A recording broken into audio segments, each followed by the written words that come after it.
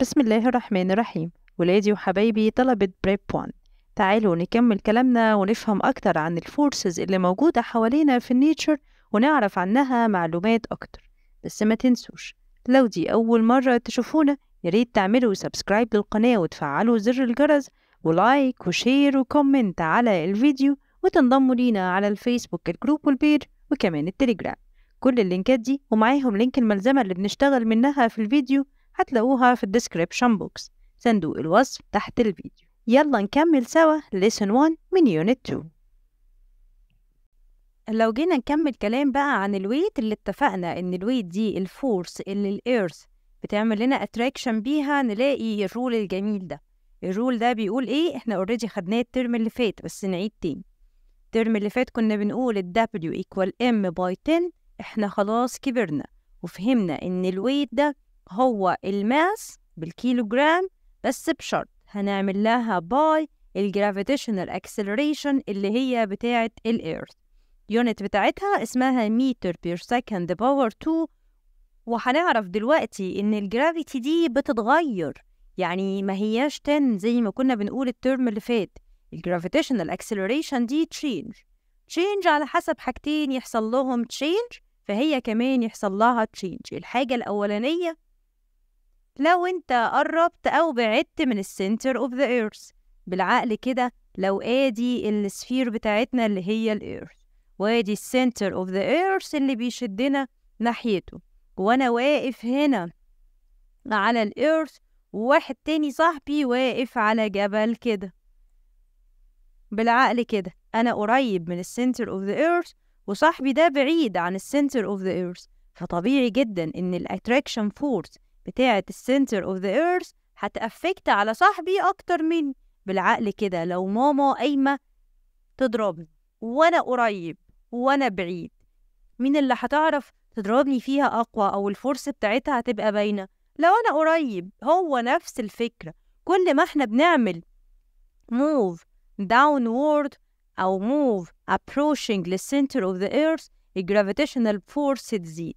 وكل ما ال distance ما بيني وما بين ال center of the earth يحصل لها increase يعني move away from the center of the earth نلاقي إن ال gravitational force يحصل لها decrease فال weight بتاعي كمان يحصل له decrease.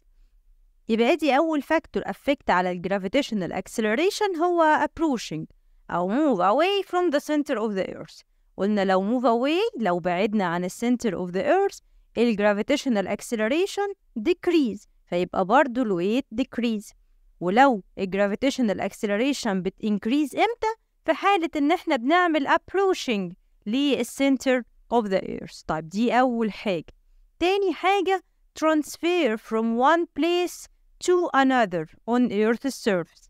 لا مش فاهم يا miss.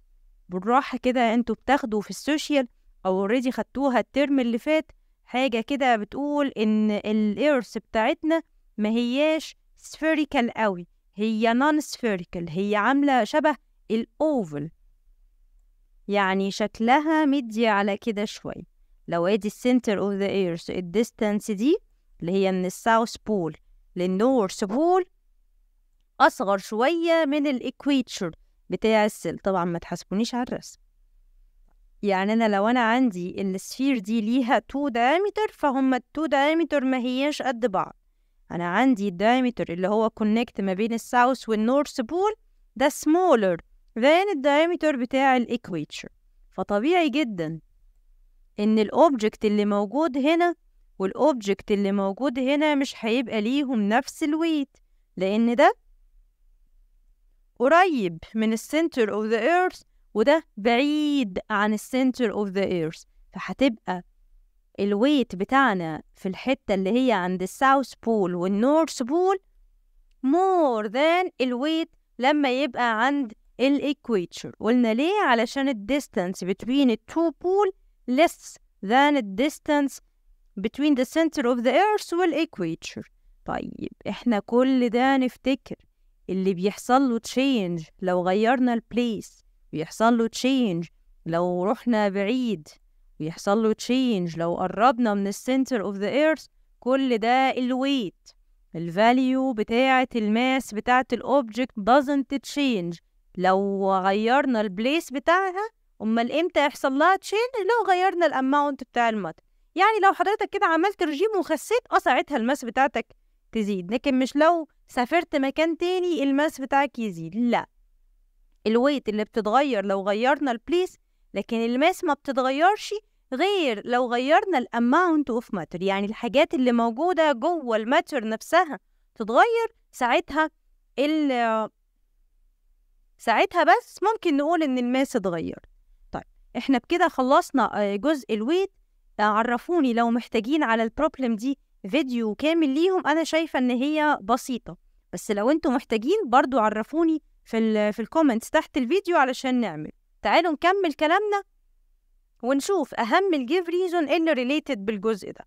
أول give reason معانا بيقول لك اللي إحنا بنسأل عنه ليه ال mass دي remain constant لو عملنا changing لل position علشان ال mass دي دي fixed property لل object ال mass دي هي ال amount of matter اللي موجودة في ال object doesn't change by changing ال position عكسه بقى ال weight ال weight عادي بيعمل change لو غيرنا ال place ليه؟ علشان الويت ده قلنا مش بتاع الأوبجكت الويت ده بتاع البليس كل ما ال earth's gravitational acceleration يحصل لها change ال weight كمان يحصل له change معاها. الحدوتة التالتة بقى ودي logic خالص يا جماعة. يجي يقولك ليه ال weight على طول أكبر من ال mass؟ ما طبيعي جدا. ما هي ال weight equal ال mass by gravity. يعني الويت دي الريزلتنت بتاع مالتيبليكيشن الماس والجرافيتي فطبيعي جدا إن لازم يبقى أكبر من ال mass يبقى علشان it's equal multiplying ال mass by the gravitational acceleration. ال question اللي بعد كده اللي إحنا لسه حاكينه. ليه الويت بتاع الاوبجكت في الساوث بول أو النورث بول greater than ال weight بتاع ال object على ال equator قلنا ليه؟ قلنا علشان ال earth's gravitational acceleration في ال south pole greater than ال equator تاني force هنتكلم عليها هي ال electromagnetic force ال electromagnetic force دي معناها إن ال electricity ليها أخت تانية اللي هي ال magnet إحنا من ساعة ما بدينا نتكلم في ال energy عرفنا إن كل energy وليها أختها. kinetic energy واختها potential energy كنا بناخد في primary 5 heat energy واختها ال light energy نفس الكلام ال electric energy وال magnetic energy إخوات. وده معناه إن لو عندك electric current تعرف تجيب منه magnet عادي. أو النهارده هنلعب اللعبة دي. أنا عندي 3 devices حكولي الحدوتة دي كويس. أول device معانا اسمه electromagnet ال electromagnet ده ال structure بتاعه عبارة عن coil wire تمام؟ يعني عندي كده wire من اللي بنوصله في بيوتنا ده اللي موصل كل ال electric devices اللي موجود. هنعمل له coil حوالين wrought iron أو حتى iron nail نجيب مسمار كده ونلف حواليه ال copper wire ده ونوصله بال battery نلاقي على طول إن ال electric energy اللي موجودة جوه ال battery دي حصل لها change وادتني magnetic energy الحدوتة دي أنتوا خدتوها قبل كده في primary 5 تعالوا نشوف شكل ال electromagnet إيه ده شكل ال electromagnet ادي ال battery وادي ال copper. wire وعملنا له coil حوالين ال wrought iron أو ال iron nail لقيناه سبحان الله بقى magnet بس ال magnet ده temporary magnet. يعني إيه temporary magnet يعني طول ما في electricity هيديك magnet once إن ال battery دي خلصت ال electricity اللي فيها أو ال copper wire ده اتقطع لأي سبب من الأسباب خلاص ال iron nail ده رجع iron nail عادي و lose ال magnetism بتاعته. الحدوتة دي بنستخدمها في أشكال كتيرة منهم مثلا ال electric winch اللي هي ال cranes اللي هي الونشز الكبيرة قوي اللي بنشوفها في المطارات والمصانع. اللي بتشيل ال block بتاعت ال iron حتت الحديد الكبيرة قوي دي إحنا مش بنجيب ناس تشيلها على ظهرها إحنا بنجيب ونش وفي electromagnet ده يسحب منها أول ما نوصل له ال electricity يقوم رافع ال iron blocks تلزق فيها ويفضل ماشي وأول ما خلاص عايزين ننزل الحاجة دي تاني cut ال electricity فده ي lose ال magnetic force بتاعته وال iron block تقع والحدوتة خلصت. ال electric winch أو ال crane في بيوتنا كمان ال electric bell جواه electromagnet تاني device عندنا اسمه electric generator أو بنسميه الدينامو. electric generator يعني حاجة بت generate electricity. يعني إيه generate يعني give electricity. هي دي حاجة هتدينا electricity. بس هتاخد إيه؟ هتاخد mechanical energy. يا miss. مش إحنا الكلام على إن عندي magnet وي change ال electric اللي جاب ال mechanical. آه ما هي mechanical دي يعني kinetic energy ال kinetic energy اللي هتحصل ال object اللي هيتحرك فيديني ال mechanical energy دي هو أصلا magnet علشان الحدوتة فيها magnet اتكلمنا عليهم في ال group بتاع ال electromagnetic force. يبقى ال mechanical energy حصل لها change ل electric energy في حاجة اسمها الدينامو زي مثلا اللي موجود في ال bike. طبعا مش ده الدينامو اللي في ال bike إحنا بنقول example في ال ال ال bikes الناس اللي عندهم عجل حديث وبتاع السبق وكده تلاقي في lamp ورا في في العجلة من ورا. كل ما الولد اللي راكب العجلة ده يبدل بالعجلة أكتر نلاقي اللمبة دي نورت. هي اللمبة دي وإحنا عندنا بطارية بقى في العجلة بتخلي اللمبة دي تنور. الموضوع كله إن الدينامو ده موصلينه في ال wheel بتاعة العجلة. فكل ما ال wheel ده يتحرك متوصل فيه الدينامو اللي هو حواليه كده magnet حواليه كده أهو kinetic energy جوه ال magnet فيقوم يديني electricity وينور ال lamp والدنيا تبقى تمام. تالت device معانا عكس ده بالظبط اللي هو electric motor وده بنشوفه موجود مثلا في ظهر المروحة. لما بنشغل في بيوتنا المراوح تلاقي كده المروحة ليها ظهر من ورا أهو ظهرها ده مستخبي فيه الموتور ده electric motor ده change ال electric energy ل mechanical energy يعني عكس ده من electric ل mechanical زي الموتور اللي موجود في ال fan واللي موجود في ال mixer. ال mixer اللي هو اللي ماما بتعمل لنا فيه العصير ده.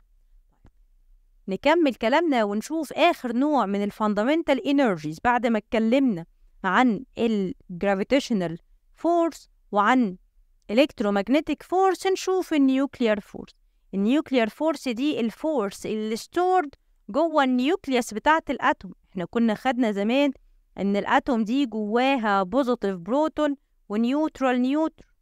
أهو جواهم بقى force كبيرة قوي اسمها على اسمهم اسمها nuclear force ال force دي ممكن نطلع منها weak nuclear force وممكن نطلع منها strong nuclear force. ال weak دي بنستخدمها في الخفيف كده. حاجة اسمها radioactive element ونستخدمها في الحاجات البسيطة زي ال medicine وزي ال industry وزي ال scientific researches أما ال strong دي بقى بنطلع منها energy كبيرة قوي اسمها nuclear energy وال nuclear energy دي بنستخدمها في حاجتين حاجة حلوة قوي وجميلة اللي هي producing ال electric energy اللي مصر بتحاول تعملها مصر بتحاول تعمل nuclear reactor في الضبعة لو تسمعوا عنها علشان نعمل generate لل electricity إحنا محتاجين electricity كتيرة قوي والسد العالي آه مش مقصر معانا بس إحنا محتاجين energy أكتر. فبنحاول نعمل ال nuclear reactor ده علشان نقدر نجيب منه electric energy تكفينا وما نحتاجش إن إحنا نجيب من أي source تاني. وممكن نستخدم ال nuclear forces دي اللي هي ال strong nuclear force في ال military purposes زي القنابل بقى النووية والأغراض الحاجات الإيه العسكرية والحربية والحاجات دي.